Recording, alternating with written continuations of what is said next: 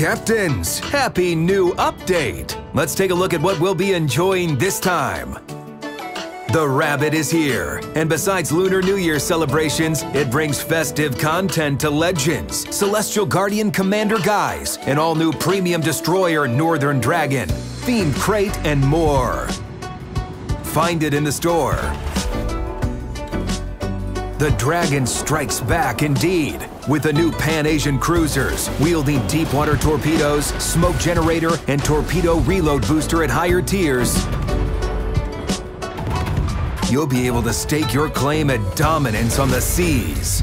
These ships are available through special early access containers, with each of the boats coming with a personal mission. They are back. New range of Azur Lane collaboration will be available between February 6th and March 6th and includes new commanders, ships, and skins. Mighty German battleship Pommern of Tier 8 is ready to fly you to victories. She's the ultimate prize of this update's campaign, Gryphon of the Baltic. Get through 100 milestones in five weeks with Admiralty backing active to get her. And remember that you'll get a ton of in-game goods along the way. This is the best ever update for competitive captains, and we're not joking.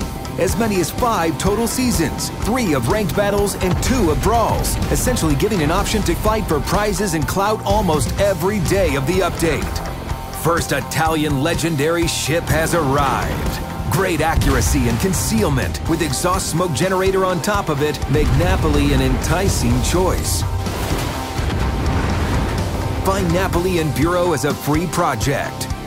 Kickstart your 2023 the legendary way and turn the tide.